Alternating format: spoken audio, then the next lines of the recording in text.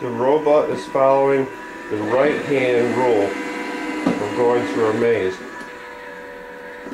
They always try to make a right hand turn first. If not a right hand turn, it would try to go straight. If it can't go straight, then it would make a left.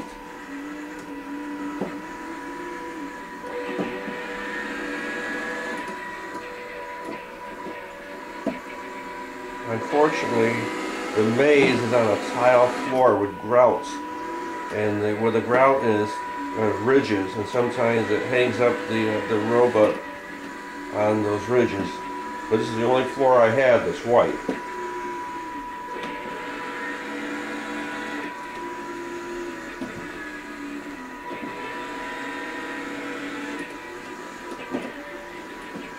When it comes to a turn like that, it goes forward first to see if the line goes straight or turns left only.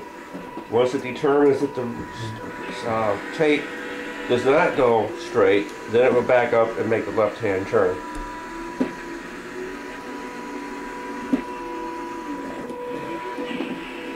Doesn't need to do that for right-hand turns because it does right-hand turns automatically.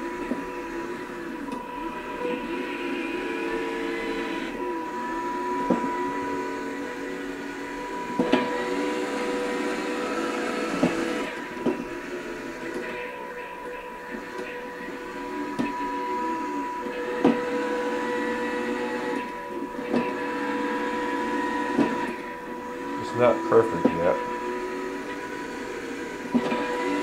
This one corner, for some reason, gives it a problem. The line is three quarters inch black electrical tape.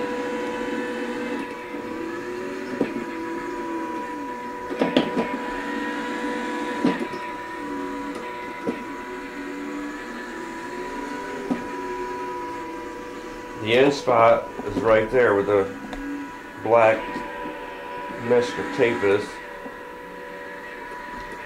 When it gets there, it should stop.